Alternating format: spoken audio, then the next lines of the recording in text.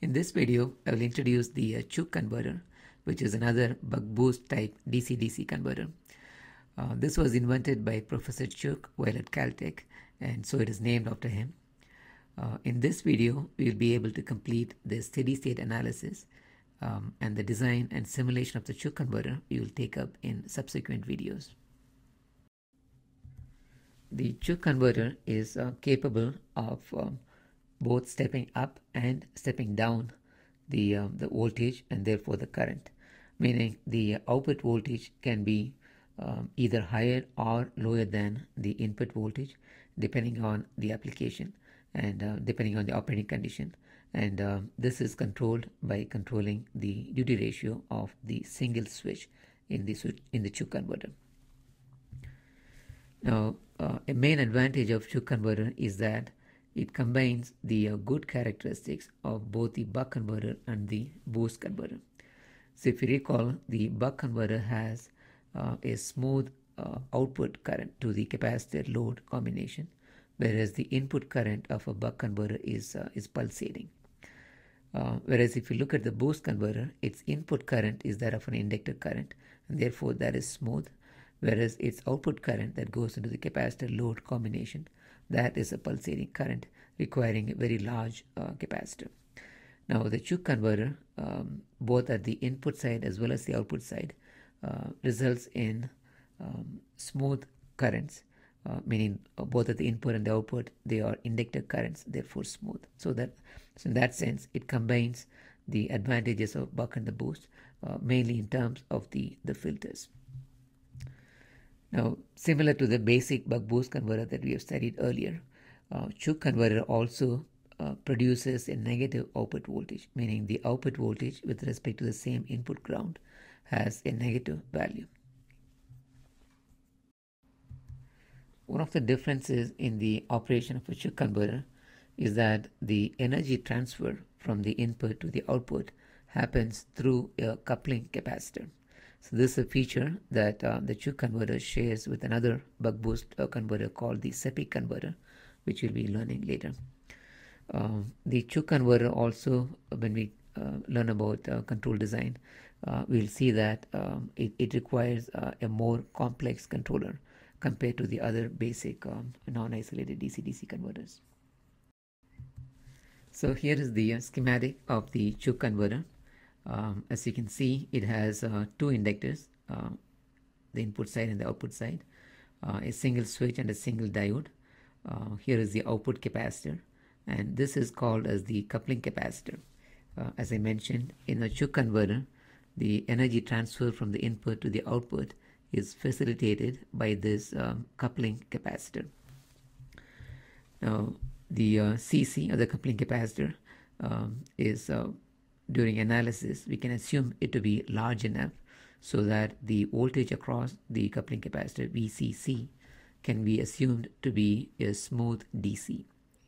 Now, um, it is not as large as the um, output capacitor because the output voltage by specification needs to have a very low ripple whereas the um, coupling capacitor its voltage is an internal variable so we don't really care much about the voltage ripple so it, it, does have a relatively higher uh, high frequency ripple than the output voltage, uh, but it is predominantly a DC voltage with a slightly uh, larger ripple.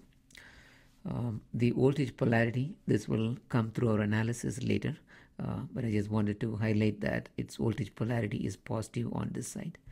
Um,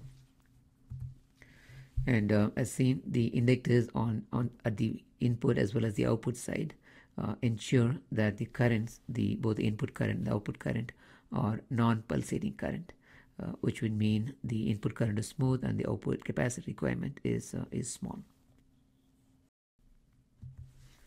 Then, um, in order to help us in our uh, steady state analysis, um, as well as to um, uh, kind of derive the Cuk converter from the uh, cascade connection of a boost converter followed by a buck converter um, let's look at the equivalent circuits of a Cuk converter valid in the on and the off interval.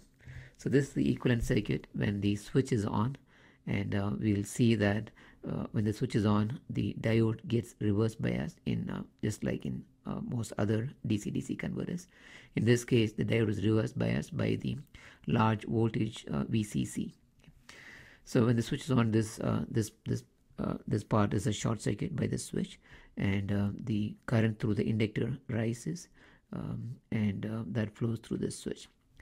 At the same time, the um, capacitor due to its stored uh, energy from the previous uh, cycle uh, is also fed to the um, to the load and um, uh, also goes to increase the uh, stored energy in the inductor uh, but the key point is that current flows through the same switch S1 through in this path. Um, similarly this is the um, equivalent circuit when the switch is turned off. So this is the switch off interval. Um, during this time the um, current through the um, uh, inductor L2 as well as the current um, IL1 in the inductor L1 they force the diode D1 to to conduct. So that is this short circuit here. Switch is open so this is open circuited. So here both inductor current as well as the uh, uh, inductor current IL1 as well as IL2 they both flow through the diode and uh, in the process the um, IL1 charges the coupling capacitor uh, and the IL2 flows through the output capacitor and the load. Uh, also notice that in uh, both the equivalent circuits the um, current flowing through the capacitor and the load is from the bottom to the top uh, in as well as in the off interval. Uh, so therefore the uh, output voltage polarity is positive at the bottom and negative at the top. So I mentioned the uh, um, the cascaded connection of a boost converter followed by a buck converter uh, in the previous slide. Uh, it may be a good idea to actually um, uh, briefly look at this cascaded connection. Uh, this will uh, give us a better intuitive understanding of how a Cuk converter works. and in fact, this may be how the Cuk converter was actually derived. So, so this is the cascaded connection uh, you can clearly see the uh, boost stage at the input side uh, this switch and this diode uh, and LNC forming the boost converter uh, so the VCC would be higher than the input voltage Vin the uh, second stage is clearly the buck stage with the VCC as the input and the final output is the output of the buck stage. Now um, clearly the there are two switches and they can be independently controlled um, but but in this context where we are actually trying to compare this with the Cuk converter, uh, which actually combines um, um, these two switches into a single switch, uh, the two diodes to a single diode. So so in that context, let's uh, consider the case where both the switches are operated, they are controlled by the same switching function uh, Q. Okay? Both have the same, they turn on and off uh, exactly at the same instance uh, and the average of the Q is the duty ratio. Therefore, both the switches have the same duty ratio. Okay. So with this uh, control, the Cuk converter is uh, is very similar um, uh, in structure as well as uh, in um, operation and performance to this cascaded topology. Um, the key difference being instead of two switches, um, there's only one switch, which is a big advantage. Similarly, instead of two diodes, there is only a single diode. Um, as I mentioned, uh, Cuk converter realizes the same functionality uh, and the same performance uh, as, as that of the, um, the cascaded uh, topology, but using a single switch. The uh, drawback um, may not be a drawback for all the applications, but maybe uh, a drawback for certain applications is that the Cuk converter results in a negative output. The um, we will see that with respect to the input ground the output is really uh, is negative uh, in, in, in the case of Cuk. Now going back to the um, cascaded boost buck connection. Um, so the input stage is the boost. So for a boost, the VO over VN is uh, 1 over 1 minus D. Therefore, VCC, which is really the output of the boost stage, is uh, input VN over 1 minus D. So this is going to be higher than input voltage for any value of uh, D. The second stage is a buck and its input is is this VCC and for a buck the output is D times V in. In this case the input is VCC so the final output voltage is D times VCC. Now if we combine these two substitute for VCC this expression uh, we get output voltage is D over 1 minus D times the input or VO over Vn is uh, D over 1 minus D. Okay. So that is the buck boost relationship. For D greater than 0.5 it is boost, D less than 0.5 it is uh, it is step down buck. And uh, as you would expect, um, when we derive the input output relationship for a Cuk, for a Cuk converter, this is exactly what we will get. Okay, so the similarity between the uh, cascaded boost uh, buck configuration to that of a Cuk converter will become um, uh, quite obvious when we consider the equivalent circuits of both the uh, both the configurations during the on and the off interval. Uh, so uh, what is drawn here is the equivalent circuit. So this is the on interval equivalent circuit of this cascaded configuration. Uh, when the switch is on, meaning both S1 and S2, both of them are on simultaneously in this interval. Uh, so this is the short corresponding to S1 and uh, S2 is, was here okay? And both D1 and D2 are off uh, and um, they, they're not they do not appear in the on interval. Uh, similarly during the off interval uh, S1 and S2 are off and both the diodes are conducting uh, and this is the resulting equivalent circuit. So this is where the diode is the short corresponds to the diode D2 and the D1 short is somewhere here. Okay. So now what, what I want to do is to compare uh, both these equivalent circuits with that of the um, of the Cuk converter which we have already seen in a, in a previous slide. So here are the uh, so here is the on interval equivalent circuit for the Cuk converter and let's compare these two. Okay. So the um, inductor current uh, sees uh, the voltage V and applied across it and its current rises. That's exactly what happens here. Now in the uh, cascaded connection, this uh, this capacitor, you can call it as a coupling capacitor again, um, that uh, discharges uh, through this inductor current IL2, feeding the load. Same thing happens here, but it happens through the same switch S1 in the case of the Cuk converter. Uh, but uh, regardless, it is being discharged by the same IL2 as in the um, cascaded arrangement. So if you, uh, if you consider the on interval, they are almost identical. Okay? Um, and let's look at the off interval again.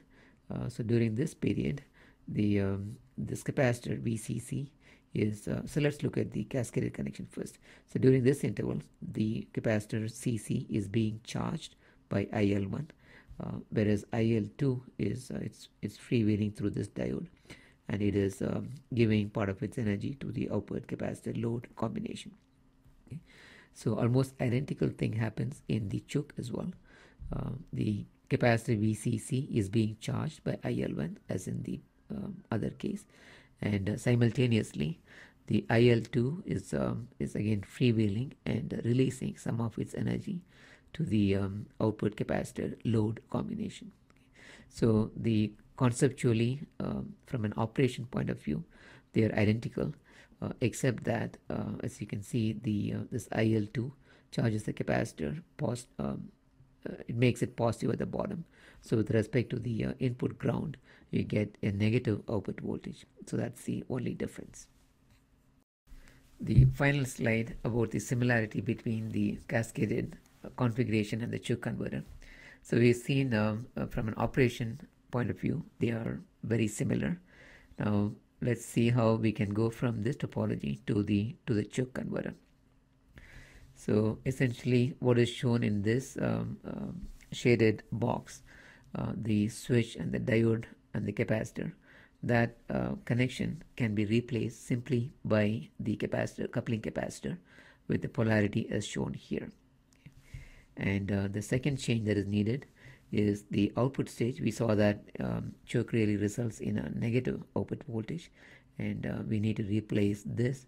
Uh, we just need to flip it vertically and to get this configuration and um, uh, in order to um, uh, combine the input ground and the output ground we can move this inductor to the top um, as shown here. Okay.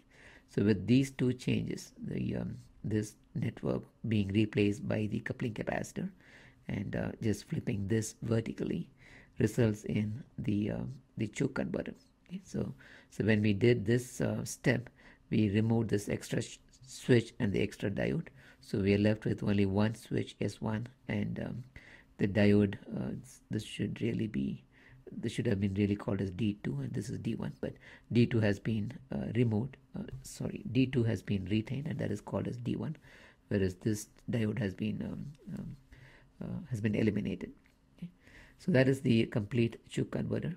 Um, okay so we are past the 15 minute mark. So I will um, cover the remaining uh, steady state analysis of Cuk converter in uh, part 2 of the uh, Cuk converter analysis uh, series